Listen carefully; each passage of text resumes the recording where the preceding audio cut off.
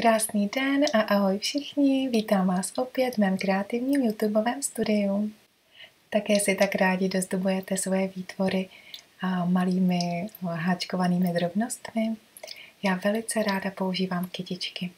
A v tomto mém videonávodu bych vám ráda ukázala, jak uháčkovat tuhle malou chryzanténku, kterou si můžete použít jako ozdobu do vlasů nebo jako náramek a nebo právě jako ozdobičku na háčkovanou sukínku. Informace a odkazy k tomuto videonávodu naleznete jako vždy v boxu pod videem. Můžete na kytičku použít jakékoliv eh, zbytky tenčí příze a já háčkuji háčkem číslo 3.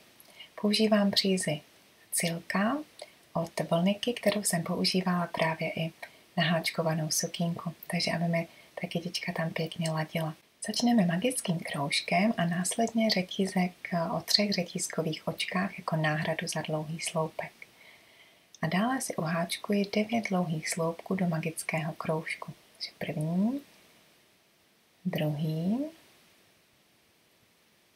nahodím, vedu háček do středu magického kroužku, nahodím, protáhnu dvěmi, nahodím, protáhnu dvěmi nahodím, vedu háček do středu magického kroužku, nahodím, protáhnu dvěmi a nahodím, protáhnu dvěmi přízemi na háčku. Dlouhý sloupek určitě znáte. Vím, že někdo nemá rád háčkování do magického kroužku, takže magický kroužek lze snadno nahradit. Uháčkujete si řetízek o třech řetízkových očkách, spojíte ho pevným okem, vytvoříte takový uh, kroužek z řetízku, řetízkový kroužek, kterého budete potom háčkovat uh, stejně jako já. 10 dlouhých sloupků, přičemž první dlouhý sloupek mi tvoří tři řetízková očka na začátku řady.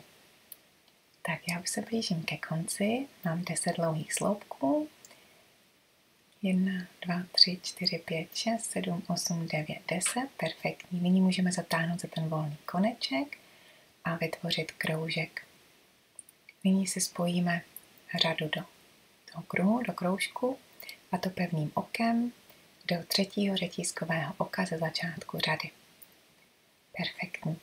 Takže máme utvořený střed kytičky a nyní budeme vytvářet okvětní lísky.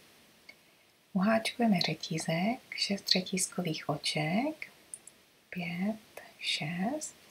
Nyní přeskočím první řetízkové oko od háčku, vedu háček do toho druhého a uháčkuji pevné oko. Do následujícího řetízkového očka pevné oko, do následujícího řetízkového očka opět pevné oko, do dalšího pevné očko, a ještě mi tam zbývá jedno, že uháčkuji pevné oko i do toho posledního řetízkového oka. Mám tedy vytvořený takový první okvětní lístek. Nyní přeskočím do eh, následujícího dlouhého sloupku, pevné oko a opět si uháčkuji 6 řetízkových oček. 5, 6. Přeskočím první řetízkové očko od háčku, Vedu háček do druhého řetízkového oka, uháčkuji pevné oko. A háčkuji pevné oko do každého následujícího řetízkového oka. Od podstatě od začátku řetízku až ke středu, respektive k tomu dlouhému sloupku, kde jsme řetízek začínali. A spojíme pevným okem. Skvělé. A přesouváme se do dalšího dlouhého sloupku. Takže pevné oko a řetízek v šesti řetízkových očkách. Tři, čtyři, pět, šest. A opět přeskočím jedno řetízkové oko od háčku, do druhého háčkuji pevné oko a dále pevné oko do každého následujícího řetízkového oka až se dostávám na začátek řetízku k tomu mému dlouhému sloupku. A máme vytvořený další okvětní lístek. Výborně. Tak jednoduše řečeno, háčkuji do každého dlouhého sloupku z předchozí řady jeden ten okvětní lísteček A každý ten okvětní lístek je dlouhý 6 řetízkových oček a pak se vrátím zpátky pomocí pevných ok. Já mám 10, 6, 7, 8, 9, 10 okvětních lístků. Jsou vždy zafixované pevným okem do toho dlouhého sloupku z předchozí řady. Ten poslední okvětní lístek spojíme tedy pevným okem, to nedokončím a vyměním si barvu, vezmu si bílou přízy, používám stejný druh eh, příze, jako je eh, tato tmavě růžová, dokončím pevné oko, výborně. Nyní si uháčkuji dvě řetízková očka, háčkuji stále tak, že mám lícovou stranu k sobě, ale nyní si budeme muset práci trošku natočit k sobě a ohnout ten vytvořený okvětní lístek. A vytvořím si pevné oko mezi následující eh, dva ty okvětní lístky. To znamená pevné oko do pevného oka z předchozí řady a ten okvětní lístek eh, z té růžové barvy si prosím ohněte trošičku dopředu. To znamená, že ta dvě řetízková očka jsou vlastně schovaná za tím okvětním lístkem se dvě řetízková oka a pevné oko do pevného oka mezi následující okvětní lísky. Se dvě řetízková očka, otočíme práci směrem k sobě, ohneme ten jeden okvětní lístek a vedeme háček do následujícího pevného oka a uháčkujeme pevné oko.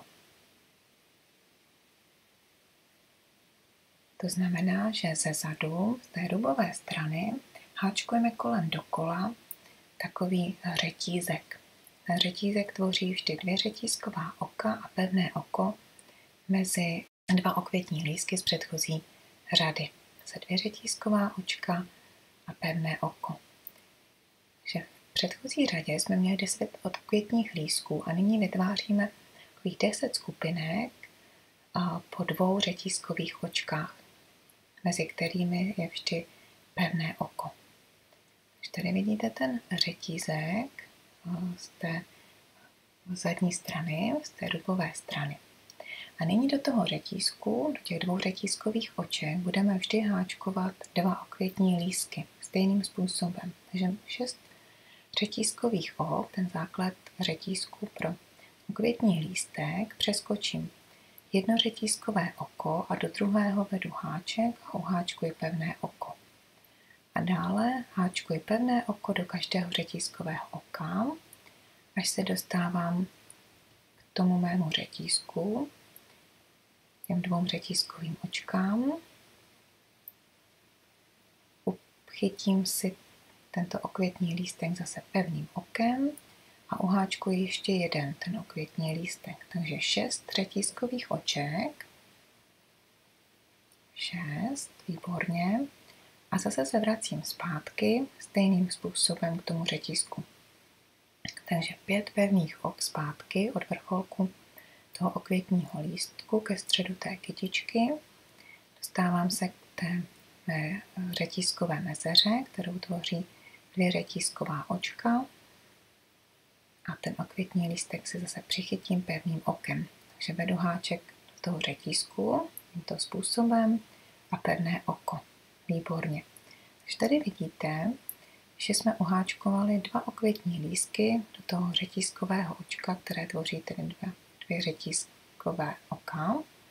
A stejným způsobem budu pokračovat kolem dokola celé kytičky. Další okvětní lístek, šest řetízkových oček a vracím se zpátky pomocí pevných ok První řetízkové oko od háčku vynechám a do každého následujícího řetízkového oka jedno pevné oko.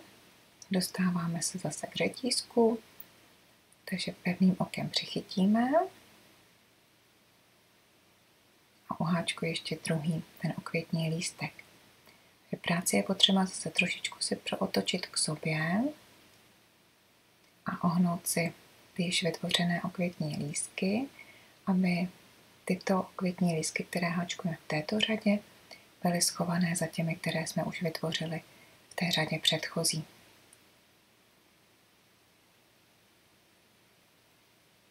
Perfektní. Takže tímto způsobem do každého toho řetízku, té řetízkové mezery oháčkuji dva okvětní lísky.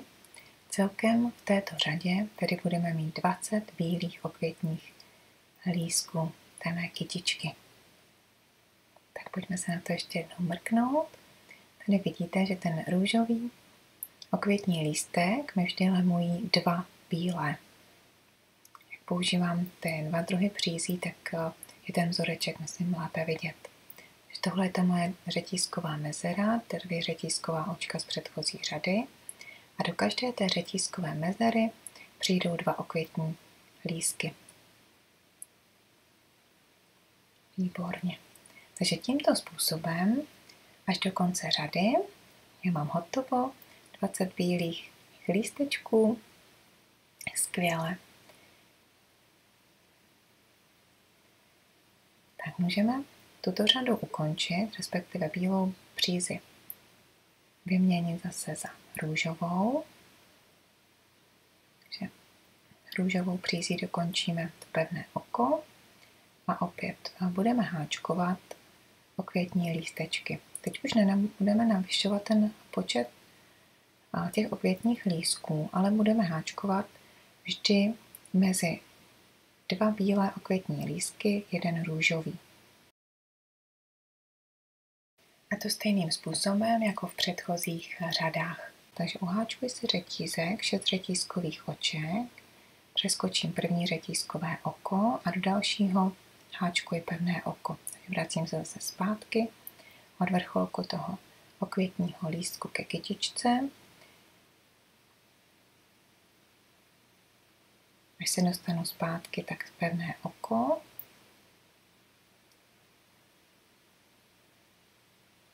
Skvělé. A můžu se přesunout mezi další dva bílé ty okvětní lístky. Takže pevné oko mezi následující dva bílé okvětní lístky, pevné oko do pevného oka.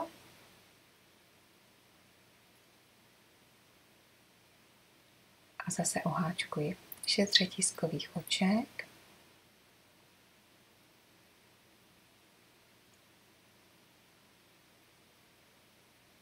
A budu se vracet pevnými oky zpět. Pokud byste chtěli, tak můžete samozřejmě udělat ty okvětní lístky o něco delší. Stačí, když si uháčkujete delší ten základní řetízek pro okvětní lístek a potom se stejným způsobem vracíte zpátky, to znamená přeskočíte to první řetízkové očko a potom pevné oko do každého následujícího řetízkového očka. Takže to je na vás, pokud budete chtít mít ty okvětní lísky v těch spodních řadách, v těch dalších řadách delší, tak stačí uháčkovat delší řetízek. Takže já zase přeskočím jeden ten okvětní lístek, háčkuji pevné oko mezi následující dva okvětní lístky a uháčkuji další okvětní lístek. Takže šest řetízkových oček. Jedna, dva, tři, čtyři, 5 a 6 a vracím se zpátky, přeskočím jedno řetízkové očko a do každého následujícího tedy pevné oko zpátky.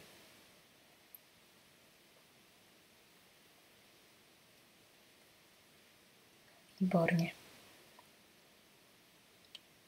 Takže tímto způsobem oháčkujeme 20 růžových okvětních lístků. Každý růžový okvětní lístek je mezi dvěmi bílými okvětními lístky z té předchozí řady. Ten postup je úplně stejný a v této řadě se nám počet těch okvětních lístků nenavyšuje. Takže jeden mezi dva.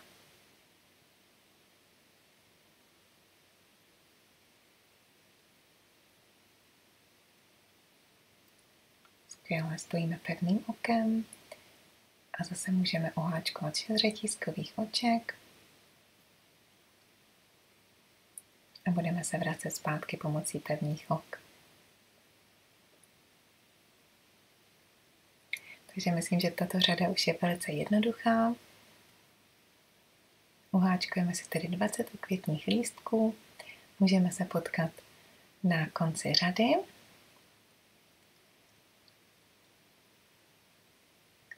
A řadu se spojíme pevným okem, když dokončíme tu kytičku a máme hotovo. Tak tady vidíte, jak jsou umístěné ty růžové a květní lístky vlastně ze zadu té kytičky a takhle máme předek. Takže máme jednu řadu růžových okvětních lístků, kde jich je 10. Potom následuje řada bílých, tam máme už 20, navyšovali jsme počet. A potom následoval poslední řada okvětních lístků těch růžových a tam jich máme opět 20. Tak tady vidíte, jak jsou ty okvětní lístky takhle hezky za sebou, srovnané. Ono, ono vlastně tento efekt nám vytváří to, že ty vnitřní okvětní lístky jsou jakoby vystrčené do středu té kytičky. Takže hezky plasticky nám drží tvar. Můžeme příze zastřihnout. Tady bych doporučila ponechte trošku delší konce, tak 20-30 cm, aby jsme těmi to volnými konci mohli kytičku buď přišít k již vytvořenému projektu, třeba právě k té mé sukínce, nebo přichytit na špendlík, pokud byste chtěli použít třeba na sako nebo na kabátek, a nebo přivázat ke gumičce, pokud byste chtěli nosit jako ozdobičku do vlasů. Takže volné konce, které použijeme potom na přišití nebo přichycení kytičky. A kdo chce, tak jenom ještě krátce ukážu, jak můžeme kytičku dozdobit perličkami nebo různými korálky. Já mám moc ráda nejrůznější korálky na, na těch háčkovaných mých věcech. Takže i tu kytičku si ještě dozdobím. Tak jaká barvička se vám líbí nejvíc tam? Ta vínová nebo ta mátově zelená? Tak dobře, tak dovolte barvičku, která se vám líbí nejvíc. Já použiju pět bílých perliček. Připravte si tenčí jehlu a pevnou nit.